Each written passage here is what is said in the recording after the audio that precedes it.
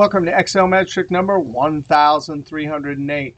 Hey, if you want to download this Excel workbook, Excel Magic Trick 1307 to 1311 and follow along, click on the link below the video. Hey, in this video, we're looking at the same table we had last video where we did conditional formatting. But guess what? All I want to do is create this text string here from this table. Notice it has rows and columns, so it's like a rectangular range. And here's what we need to do. If I put this in edit mode, oh, I need to join the first two items in the table with an and between it. And then when I go down to the next row, I need an or.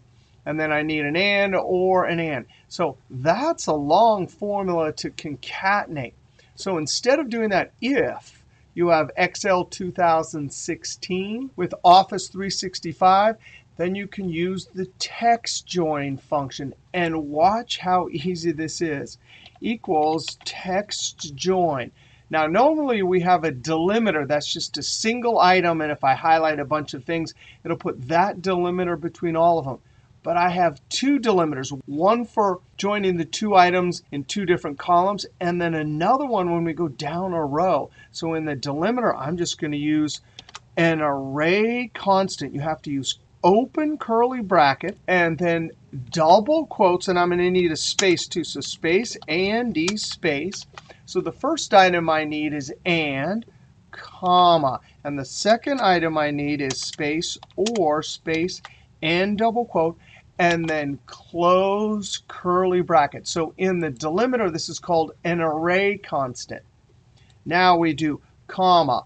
I want to ignore empty cells, so I put true or leave it omitted, comma. And now the text, I simply highlight my two-way table. You've got to be kidding me. Close parentheses and enter. And there you go. We get the same exact thing. So a lot shorter, a lot easier to type out and create when you use an array constant. In the delimiter argument, of course, if you have the text join function, otherwise you have to do that. All right, we'll see you next video.